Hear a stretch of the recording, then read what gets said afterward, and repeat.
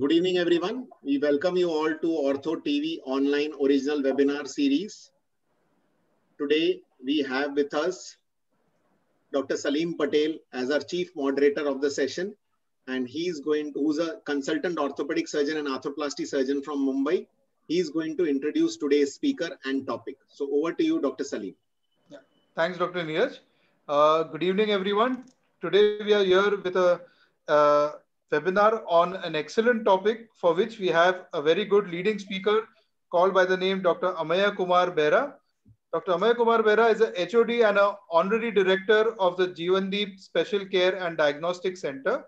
He's an associate professor at the Murshidabad Medical College, West Bengal, ex-vice president of the West Bengal Orthopedic Association, president of the Berhampore Orthopedic Society, social healthcare initiatives, Sir has conducted n number of free surgical camps. He has got an n number of publications at the national as well as the international forum and has been a faculty at the various national and international conferences. With this, I hand over the session to Dr. Bera, sir, to start his topic. Over to you, sir.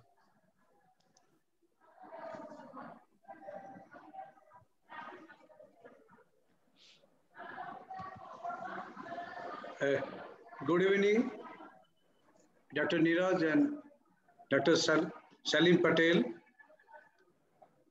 Besides all that you were told, what Neeraj was asking, whether I am in the hospital or not. Yes, I am still uh, in the nursing home. I am currently MSVP, Medical Superintendent cum Vice Principal of Murshidabad Medical College. Anyway, so I have to operate in the evening. Just now I also finished trochanteric fracture. So my today's topic is very close to my heart, trochanteric fracture management by dynamic hip screw with trochanteric support plate.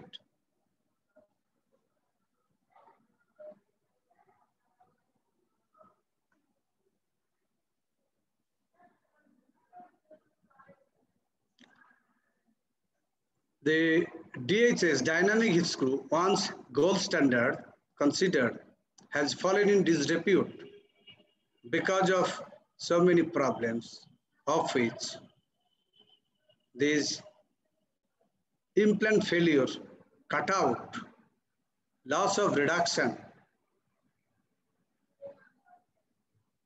shortening, excessive collapse, and non-union of the greater trochanteric fragment and thereby abductor mechanism disturbed. So resulting in limping and all sorts of problems. Therefore, number of other implants are also being tried, but none of them are foolproof. Failure rate is currently in different series, varies from 2 to 54% for different implants. As you can see here, the PFN as well as the locking plates. So search for ideal implant continues and will continue. Present generation of our patient profile who are very much satisfied with THR does not get such a satisfactory result with the current available implants in case of proximal femur fractures. Therefore, n number of implants have been tried, of which one category is surface implants, others are intramedullary nailing, intramedullary devices. Of the surface implants, dynamic condyle screw, fixed angle blade plate, locking plate, contour DCP, Gottfried plate, besides that most versatile worldwide, still now mostly practice dynamic screw. However, current trends goes for intramedullary nailing, which was started with Ender's nail, gamma nail, PFN, PFNA, reconstruction nail, and InterTAN. Recently introduced Hyder nail, which we have also tried. But failure rate is high and cutout rates 2 to 16.5% in the literature.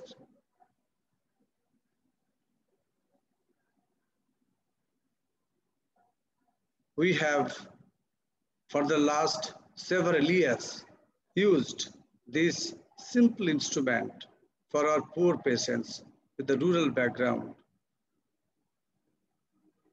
DHS with TSP, trochanteric support plate, is modified. The trochanteric support plate here, you can see attached with the DHS. It's not a separate piece like the other companies install. Our hypothesis was dynamic screw with trochanteric support plate can give good result. Around 1500 cases of trochanteric fracture done over 20 years, of which 110 cases we have included in the prospective study, started from 2012 to 2017. At least one year follow-up was there and unstable trochanteric fractures only. Stable fractures we know very well, whatever be the implant is good, but for it's the unstable fractures which had unpredictable prognosis and controversy arises which one is better. So unstable trochanteric fractures only are included and in that category, few of the stable fractures, while triple reamer is being used, with the thin cortex, what was thought to be stable becomes unstable because of arteriogenetic fracture. What Mohindra Bhandari has shown in his meta-analysis that around incidence is as high as 20%, particularly in old osteoporotic individuals. Age was above 18 years and of course non-pathological cases only. Technique is usual, what I standard technique is there, I follow. The only things like to highlight, fluoroscopic visualization is done, not only only AP and lateral. I do use 30 degree oblique overhang positions, that is globally in multiple views because in AP it may appear well reduced, in lateral it may not. Even if lateral in 30 degree or 20 degree oblique view, you can see some incongruity that anterior or medial cortex doesn't match the solenoids. So in multiple views, we have to confirm the reduction because reduction, reduction, and reduction, that's the most important thing. Provisional stabilization by multiple QS, is the most important challenging things. And what Rockwood and Green has repeatedly pointed out, reduction is easy, but maintaining the reduction till the end, till the definitive fixation is there, that is the crux of the problem. And there, there are the two steps, reduction and maintaining the reduction till the final implantation. There are the two steps where we should not be we should not be any should not any compromise do any compromise and there we are many times not vigilant and therefore results are poor lateral drilling lateral wall drilling by the triple reamer that should triple reamer should be sharp and one technique what I followed, I had also dime by Dr. Arindam Banerjee. Multiple drill, drill holes around the guide wire so that unnecessary pressure is not there. That reduces lateral wall breakage. That helps a lot. And guide wire, though traditionally told, it should be center-center. Previous teaching was, it's more in the posteriorly as well as the inferior quadrant. We deliberately put it in the inferior quadrant so that we can accommodate a second screw through the TSP in the upper part. Rastogi et al. has shown in their paper that two screws in case of reconstruction is always better than one screw biomechanically. So two screws at least is our aim whenever we put the DHH with TSP. That's why we deliberately put it inferiorly. And we have seen it quite effective also. Today, this was the case done in a 75 years old lady. I believe in hip preservation whenever possible. And the other side was operated somewhere else with six weeks. You can see the reduction, the quality of bones, very osteoporotic. And I'm showing a bit in detail so that what principle I follow can be elaborated here in a better way. There may be controversies, but I have got success with following these techniques. So in the EP view, the reduction is not satisfactory. We had to open it. We had to reduce it. You can see the reduction. But before that, we had tried so many methods and put the final reduction we have achieved like this. We in different views. And though there is subtrochanteric fracture, but ultimately we had a good reduction and these are steps. You can see the gap there that is also took after the molding of the trochanteric support plate and putting the second screw, we compressed it, put the bone graft also there. So reduction is very important and holding the reduction with multiple K-wires because it's osteoporotic one way or two K-wire may not be sufficient. So we have to put multiple of K-wires at times. But in, if we strategically place it, we can still continue to have the final reduction with these K-wires. It does not hinder. So pre-operative or para-operative planning, what to place the K-wire, that's important. One tips is there, I always put a K-wire like this from anterior cortex. I purchase it in the inferior beak of the proximal fragment, which is very strong. So that does not interfere. These are the two, two important and others are from posteriorly or anteriorly from, I start from the GT so that my guide can be placed safely without interference from the K-wire.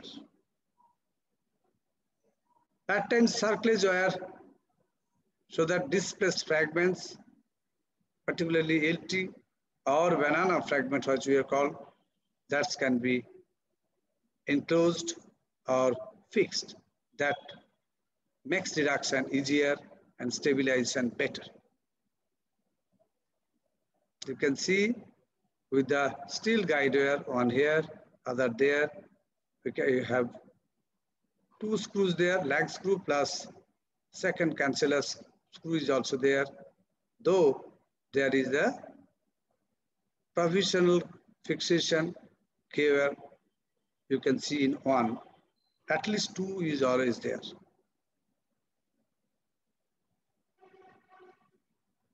So in the technique, first the distal screw is put, then second proximal screw, second one is the proximal screw, then we put a screw through the trochanteric support plate, then mold it so that it parallels it to the contour of the greater trochanter. So that when we compress it now with the static compression we give, there is no further medial displacement. So first the distal screw, then proximal screw, because if we do not put the proximal screw, if we go on compressing, give the static compression, that will slide down. The medial cortex may, the, the distal fragment will move medial. So therefore we put the second screw in the proximal hole. Thereafter we put a TSP, a screw through the TSP so that rotation doesn't occur then we mold the TSP plate to the shape of the GT. Then we remove the cover and give the static compression. Thereby, there is neither rotation, only compression, and no chance of medialization of the distal fragment. Additional surface wearing at times for LT and GT because if GT is up or LT is there, with that, so many muscle pull is lost that I, we think that is one of the weaknesses of the intramedullary nailing. This is from other slide. From others, you can see the banana fragment. Cerclage is the only answer as we have put it here. Another controversy arises when I put off red indisol secot bone grafting. I did bone grafting in earlier cases, earlier in the late cases. But in elderly people, elderly person, when triple liver is used, it suddenly passes very quickly. Nothing is there. After you drill the lateral cortex, there is complete hollow. Then you feel the resistance after it traverses the neck, only the sub, it, when it reaches in the head, say three or four centimeter. So it came to my mind that why not bone grafting? In spine, we know in osteoporotic spine, putting bone graft increases the pull-out strength of the screw that has been established and that is used at times. So in that line, I also put bone graft, many cases, particularly elderly osteoporotic bones, and I found good result. I take harvest bone graft, put it through the triple reamer hole around the guide wire by the artery forceps, push it, and thereafter I introduce the lag screw and lag screw becomes better fitted as it is the bone grafting is being done. Perioperative blood loss it, as is assessed, time of operation noticed, reduction quality, varus valgus angulation, and fluoroscopic images compared with the post-op X-ray and time of union. Besides, functional assessment. Post-operative protocol, mobilization at earliest, next day, weight bearing, of course, delayed three to six weeks, but mobilization in the bed or for the personal hygiene starts next week. Partial weight bearing as tolerated as per fitness of the patient. Follow up at three weeks, six weeks, three months, and six months, one year. Both clinical, radiological, as well as functional assessment is done as per standard guidelines. In the results, we have found 53 males and 57 females. Right, right side affected 63, age 20, 24 to 91, of which at the average, mostly it's around 60s. Timing, time lag between the injury and the fracture varies to a great extent to second day to nine months, mostly not before second week. Perioperative blood loss on the average 350 ml time of operation around 55 minutes, 45 minutes to 120 minutes according to the cases. Now type of fracture included in the study A13 with arthritic lateral fracture, three cases. A21 with artery lateral fracture, two cases, rest are A22 or A33, 105 cases. Union is not a problem with DHS. And I can almost tell them 99% cases chance is union. It is assessed as per radiographic union score of hip, RAS score, and it's at 24 weeks. Time of union on the average 15.3 weeks. Problems of wound infection is definitely there. Superficial 3 and deep infection 3. Postoperative quality of reduction was assessed compared to intermediate nailing of my cases. Reduction is better achieved with DHS, whereas in five cases, valgus, which I deliberately nowadays in few cases particularly in comminuted cases.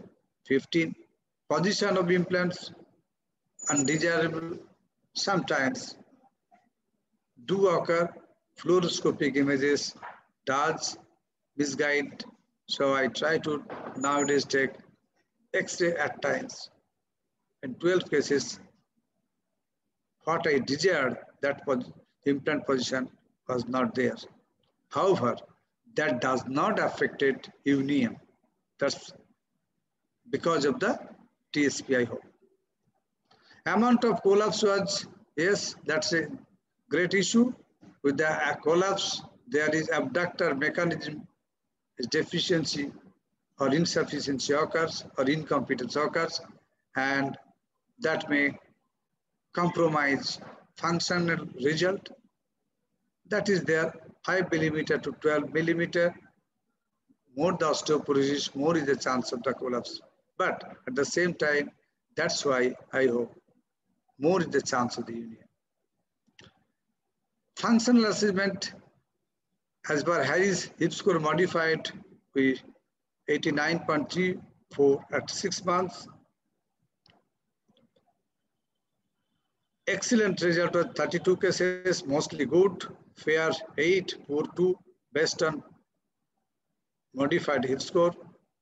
Patient reported outcome is more meaningful to us. Highly satisfied 38%, good 47%, and unsatisfied 3%. While I'm advocating DHS with TSP, I personally also do many cases with the intermediate nailing, which has its different advantages, as shown in this case.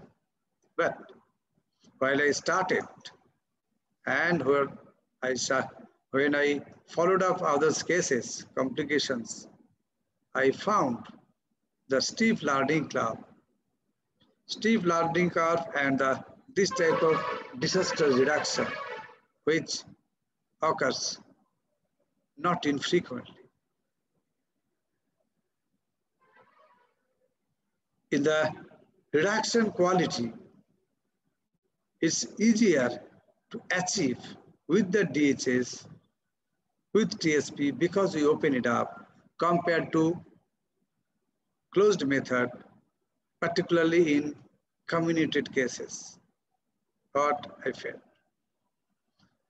Mostly elderly population, they have associated osteoporosis, but union is quite high, 99%. High success rate attributed to collapse, which is more than the intermediate nailing.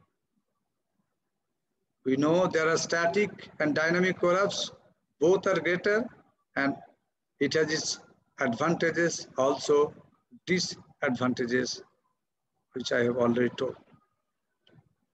So TSP reduces medialization, allow controlled collapse, and it is my preferred method of fixation, except when the fracture is a bit reverse oblique or distal. However, reverse oblique can also be managed with TSP. and that is, I feel comfortable.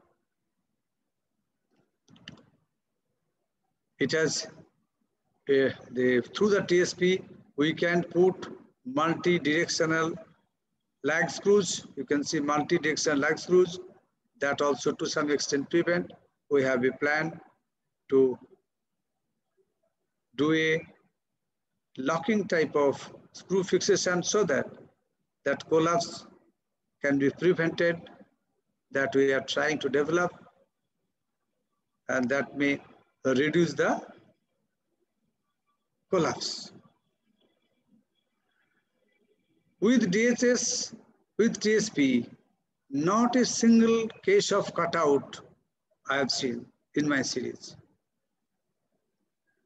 There are some problems with the place, placement of the lag screw. It might be a bit anterior and posteriorly at times, but still, because of TSP and because of the second screw, still it holds good and unites very well. As the time does not permit, I can show the cases. So DHS with TSP does compensate for lateral wall deficiency. This is an exemplary case. This one case where in my early cases where there is failure. You can see there is failure, there is varus collapse, but screw has not moved up. Screw has, the, there is no cutout of the screws.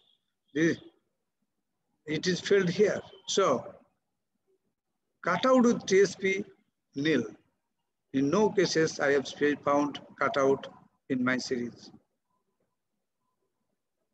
Here, the cause we analyze is a short plate that should have been a larger. Union achieved in all cases except one, infection did occur, removal, and two-stage teacher in two cases were done. RAS score was 20.9092 plus minus 2.01 27 had score of 10 to 20 and 23 others had score of 20 to 30. Reduction is most important. Pre-operative planning, par-operative good quality imaging, proper positioning, open reduction, if and as needed, additional stabilization, if as needed, is very essential. So this is again to re-emphasize the reduction, reduction, and reduction. Someone tried these DHS to prevent collapse, this sort of threaded screw but that has deleterious effect, the reverse effect, and implant has cut out. I think I have a, a number of cases. After this type of failure, I have put DHS TSP and fracture united very well. Additional observation in my series was that lag screw positioning TAD that is not so much important with TSP. So with TSP, we can avoid it. Delayed operation did not affect much adversely. There are failure in any implant as also in PFN where we can see the stress riser effect or gamma nail where there is iatrogenic fracture in every. Intramedullary versus extramedullary internal fixation debate continues and till now in different series there is no conclusive evidence to prove that one is better than other though the current trend is for intra medullary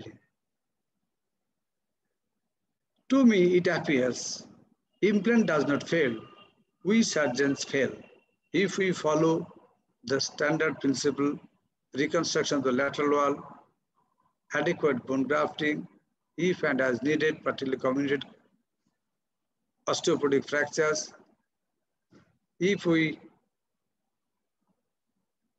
properly stabilize if needed cerclage wear is done, even then we can good achieve good clinical and radiological outcomes.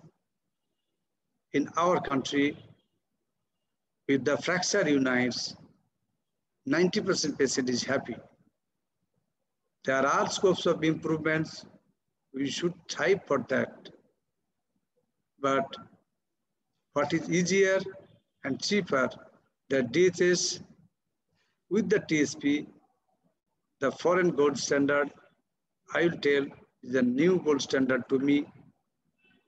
Even the subtroch fractures or reversibility can be managed effectively with the DHS with TSP. We can hold, catch hold the fragment, even the multiple screws, and good anchorage proximally and unites in the subtrochanteric fracture has also united very well.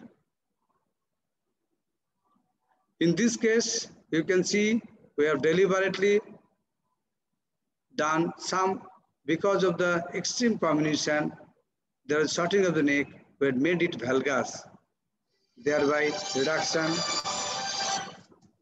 produces, valgus reduction causes compression and union better. However, there are limitations. Blood loss a bit more, it open technique with chance of infection more compared to closed technique of intramedullary nailing. Weight bearing is delayed with more collapse, gait function affection always occurs and detailed study is needed.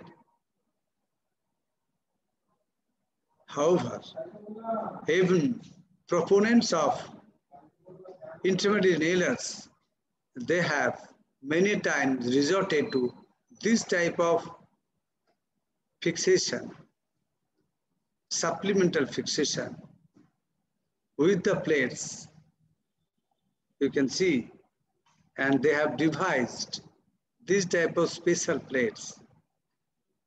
DHS with TSP could have been easily used in these cases. So in conclusion, DHS with TSP is a good option, predictable result, easily reproducible, cheap implant, and still useful, and a, still a new gold standard to me. With these few words, I thank you all for the kind opportunity special thanks to Neeraj and Dr. Patel. Thank you very much, sir, for the comprehensive coverage. So, Salim, would you like to start? Yeah, yeah. I'll sure. just stop his screen share. Sure, sure. Yes, sir. Lovely presentation. Very comprehensive and very well covered. Uh, so my very first question for you would be, as nowadays, uh, as you know about DHS and you have spoken a lot about it, but nowadays younger surgeons are attracted more towards the trochanteric nails. So especially the TFN, which is a short right. trochanteric nail. Right. The entire concept is quick surgery, less blood loss, and better recovery. So your comments on that? Sir, that is a uh, uh, that also I do, but many a time when there is comminution to assess rotation, what they show only AP view. Right. If you see shows they show to cannot show you cannot reduce the uh, correct the rotation with that you can do in the open technique by DHS. That cannot be done. So many times yes, I do also when put a traction, keep both the things up. Right. fall in line, I do it. That's very easy, certain. Right. Okay. Perfect. It has its own right, place. Right. Mm -hmm. Perfect, sir. Another question, sir. Uh, when I was a resident, we had we used to do these DHS uh, cases, but we had one of our surgeons used to do a double barrel DHS using two barrels. Right. Yes, I have never used that. And okay. uh, a better shoulder fixation yeah, we've we've done a lot of number of cases of those. So I wanted to know, sir, if you have done such cases. No, sir. Uh, I, double I, barrel DHS. No, sir. I have uh, used McLaughlin plate McLaughlin pin plate. Okay, okay. sir. Okay. the OSP nail. All these things I have used, but double band I have stopped. Right, right, right. And so, how early do you uh, mobilize your patients? That's if the a, fixation is anatomic. To, to be honest, I a bit delayed. Okay, deliberately delayed. In our country, people are tolerant, and what Western literature shows or tells that early mobilization is very much important. Otherwise, they will have these, these, these are problem. That is not found in our population. Absolutely. Absolutely. And like that, they tolerate, not only tolerate that, they have less DVT or like thing. I never use DVT prophylaxis also. Though that is also my study as the paper is there, that I also put in the secret also. DVT is, is a company driven thing. Right. That's not, uh, does not exist in Indian population by and large, particularly in the rural areas. Perfect, perfect. Excellent. Yeah, Neeraj, over to you. Yes, sir. So uh, when when would you do a PFN, sir? I understand that when you would do DHS with TSP, and you told you also do a PFN. So when would you like to do a PFN in an IT fracture? I am, yes, PFN is very easier to do. I, according to the fracture, when I, I always keep to both the implants. If I see with a closed action, it falls in line, I don't hesitate to put it the PFN. That the blood loss is less, it's minimal invasive, and blood uh, less time consuming also. But when reduction is not perfect, comminution is more. I don't hesitate to open it. Mm. And then when I open it and comminution, I usually prefer to do the DHS with TSP. TSP. Right. And uh, regarding the uh, gluteus medius with the DHS, does it interfere with the gluteus medius attachment or does it, do you feel any abductor lurch in when you do a TSP? Uh, to be honest, studying such things is very much essential, which we cannot afford to do it because of our lots of pressures.